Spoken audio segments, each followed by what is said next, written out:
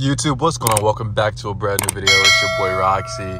Today we're going to be going to see if putting in a higher grade fuel really makes a difference in the Hemi. So for those of you that are new to the channel, normally what I put in right now is 87, but I've been hearing things like if you put in 89 or uh, you put in like 93, whatever, it, it can increase the performance of the car. Um, really, I don't know if it's going to increase performance all that much, but I am interested to see how the range does. So right now we only have 23 miles. So like, let's hope we could even make it to the gas station. Um, but typically what I notice whenever I fill up all the way with 87 is I only get like 273 miles. Um, so yeah, hopefully we can get a little bit more here today, guys. We'll see. Before this video really gets started, I want you to go in the comments right now and I want you to comment down below. Uh, what do you typically watch YouTube on? Do you usually watch it on your phone or do you watch it on a laptop? Interested to know that, um, just because I know like some of the features are a little bit different if you're watching on your phone versus if you're watching on a laptop. So let me know. Another thing is, I don't know, guys. I'm thinking about taking a break from posting shorts here on YouTube. Um, I don't know. Are, are you guys in, like, do y'all like the shorts a lot or uh, do y'all just perform the long form video content? I know the shorts are uh, pretty cool, pretty cool way of like reaching a new audience and stuff. But um, I could probably put that more uh, that energy into, I guess, creating like better long form videos. That I've even been hearing things that you know shorts actually can hurt you in the long run of like messing up your views and stuff. So let me know, guys. Uh, if, if y'all are like you know not too big or like feel like I'm missing out that much of the shorts, then I'll just put a lot of energy into focusing on like producing more videos. I guess here for you guys, but yeah, interested to see what you guys say about that. As you can see, we're finally getting some rain here, bro. After like a whole summer of li living in the Sahara Desert, finally decides to rain and it's like pouring down. So uh, that's even another video idea, guys. Let me know if y'all want to see a POV drive in the rain. See what damage we could do out here. Probably gonna go fill up here at Costco gonna probably be the cheapest place to get uh to get the higher octane. Anywhere else, it's uh, gonna be ridiculous. Y'all can see over there, unleaded, it's looking like it's 339. So hopefully we can see that number for the premium gas here at Costco, but nothing too crazy. Also have a video coming out either today or next couple of days it's gonna be a Shine Armor review. So if y'all know Shine Armor, they're a like detailing company. Uh, they were kind enough to send out a package, so uh, I was able to try one of their products and stuff. And I'm gonna be making my review about it. So stay tuned for that. Interested to work with more companies here in the future. So if y'all want, or any companies out there watching this, if y'all like, I guess want a review of your product, an honest review, be sure to just shoot me a DM and we can talk about it. So yeah, no, driving the Hemi, bro, in the rain isn't too bad. You don't have to really worry about, you know, getting sideways or anything like that. I feel like if I had a scat, scat breaks traction so easily, you probably just have to like baby the throttle. But here, I'm, I'm not flooring it down. I'm still, you know, tapping it lightly, but you know, I'm not breaking traction or anything like that. Plus I have traction control on. We're just cruising in normal mode. Oh, these puddles. Yeah, just cruising in normal, eco, eco-friendly. You know, trying to save the little guys that we do have, which is only 20 miles right now. But definitely excited though. Even though it's raining right now, this is gonna bring in some cold fronts. So excited for the cooler weather, man. Like when I'm telling you, like I was out here, I was out here cooking this summer, man between being in the Philippines and then coming back to Houston. Houston was definitely hotter, bro. Like, oh my gosh. So, now the rain is much needed.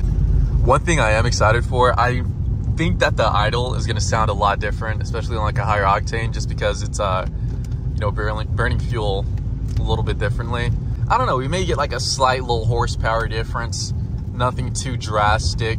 It's not like I'm out here running E85, you know, straight corn, but know, I'll see, I'll see.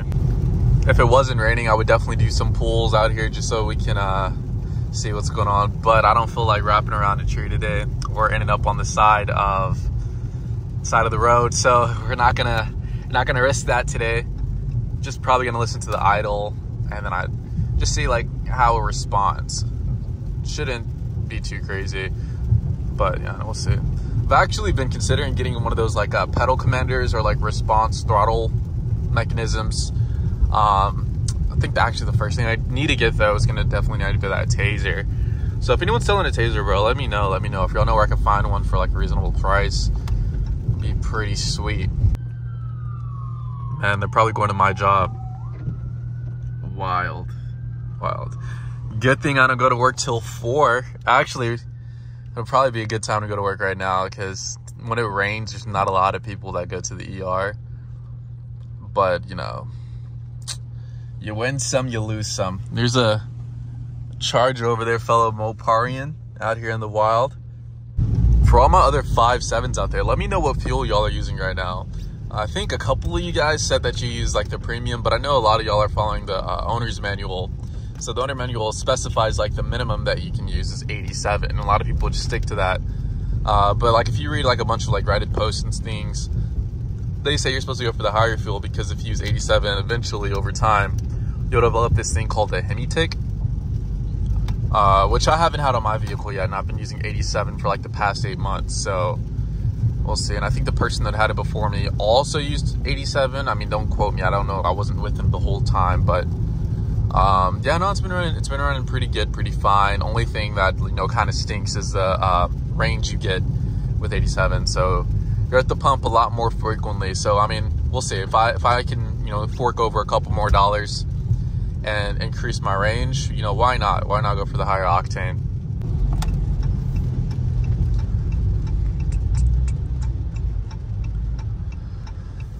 Ah, man. But no, how's everyone been, bro? I feel like it's been five days since I last dropped my last video, bro. How's everybody been?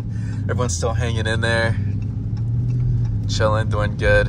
Any uh, anybody have anything new done to their car? Let me know in the comments down below. I don't know if you guys seen, but those new Mustangs have come out, so they look pretty good. I'm actually a fan of like the, uh, the new tail light design and stuff, so looks pretty sick, man. But uh, I was hearing something too about you know, performance issues and, you know, some recalls here and there. So, you know, typical Ford, us Mustang, or us, us Mopar people, we don't have to, you worry about that type of stuff. Even JK. I know Dodge has their own fleet of problems, but no, it's just funny. It's just funny. But no, they do look sick. Uh, the Dark Horse, I'm still a big fan of. I don't know if I'll get one this time around, probably like later in the future, but we'll see, man. I don't know how long this stretch is going to be that Ford, you know, is still producing Mustangs and uh, maintaining their gas vehicles, but we'll see. Perfect. Typically, bro, Costco's are like always filled up. Stuff you have to usually wait, but no, we came at a good time. So, about to get in here, and here's the moment of truth, man. We're about to see if it really makes a difference.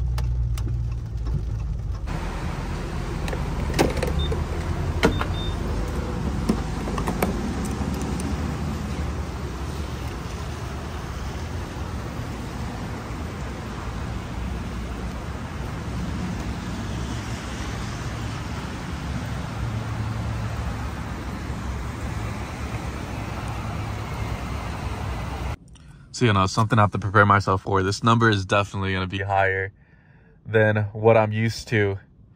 So we'll see. We'll see. I don't know. Probably like 80s, I'm guessing. 349, 6 times 16. No, not 80s. Maybe like a little bit over, like between like that 50 and 70 range. More likely closer to the 70 number, but we'll see. All right, moment of truth. First startup.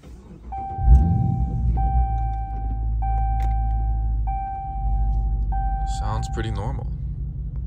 No, so surprising enough, the range is still in like that same range what I'm used to, but I'm gonna go ahead and I'm gonna reset everything. I know that like goes into the calculation as well. So we'll reset that and then we'll reset our fuel economy. And let's see what happens as we start to drive.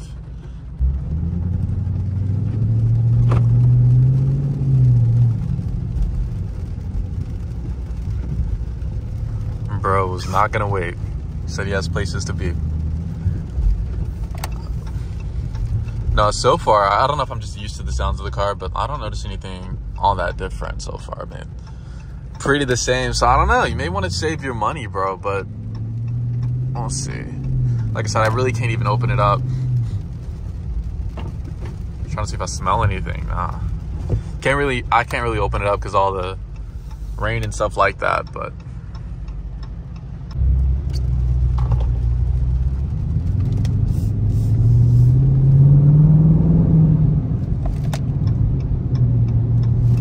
Yeah, no, we are driving in eco mode again. So the valves are not open. Probably open them once we get into here. I just don't want to, ooh, puddle.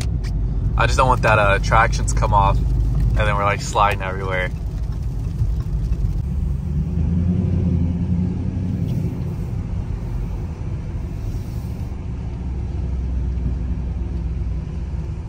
Okay, cool. I'll pull like right over here so we can hear the idle of the car. Okay, so this is gonna be the first remote start on the 93. Let's hear it.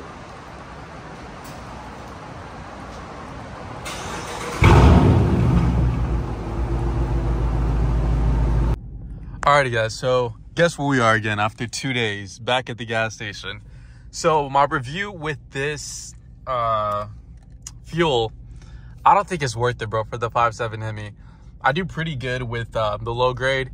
I'm probably going to try the 89 and just see how that goes. And, you know, I'm not going to make a video for that right now, probably, you know, in the future. But yeah, I don't see the point of spending, you know, more money to get either the same or in this case, it was like a little bit less because typically I could go like three to four days without a fill up. So yeah, after two days, I'm already back to 44 miles. Really wasn't pushing it like crazy. Throughout my typical range, which is 16, I don't, you know, take highways and stuff that much. So I don't know, guys. You may want to reconsider that.